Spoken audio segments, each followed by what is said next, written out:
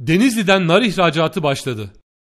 Denizli İl Tarım ve Orman Müdürlüğü'nce yürütülen çalışmalarda kayıt altındaki üreticilerin izlenebilir, insan sağlığını tehdit etmeyen, çevreye duyarlı üretim metotlarıyla ürettikleri ve hijyenik şartlarda hazırlanan narların %70-80'i başta Avrupa Birliği olmak üzere Rusya Federasyonu ve Ukrayna'ya ihraç ediliyor. İlimizdeki nar ziraatı ile ilgili e, Türkiye'nin yüzde onunu e, üretmekteyiz. E, takriben 25 bin dekarlık bir sahada yapmış olduğumuz bu üretim 50 ton civarında 50 bin ton civarında. E, bunun e, ihracata konu %90'ını ihraç ediyoruz. Başta Avrupa Birliği olmak üzere Rusya Federasyonu'na ihraç edilmekte. Buradan e, tahminen e, ilimizin getirisi 50 milyon lira civarında. E, ülkemiz ekonomisine de 500 milyon liralık bir katkısının olduğunu hesaplayabiliriz.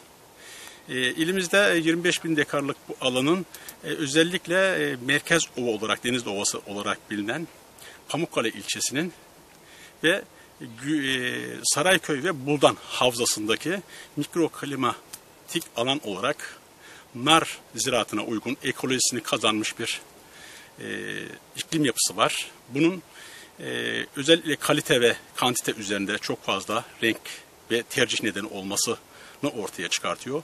Yine e, bakanlığımızca e, sürdürülebilir tarım kapsamında, iyi uygulamalar kapsamında doğru projelerin üretilmesi neticesinde il müdürlüğümüzce çiftçilerin koordine olarak çalışması, e, özellikle pestisit kalıntısı ve hijyen şartlarıyla birlikte e, tüketiciye arz edilmesi bunun tercih nedeni oluyor. İlimizdeki e, bu işin ticaretini yapan ihracatçılar ve e, diğer illerden gelip ilimiz dışından ihraç edilen e, ve bu işin ticaretini yapan yine e, tüccarlar özellikle ilimizi diğer illere göre daha öncelikli olarak tercih etmekte. Burada biz şunu söylüyoruz.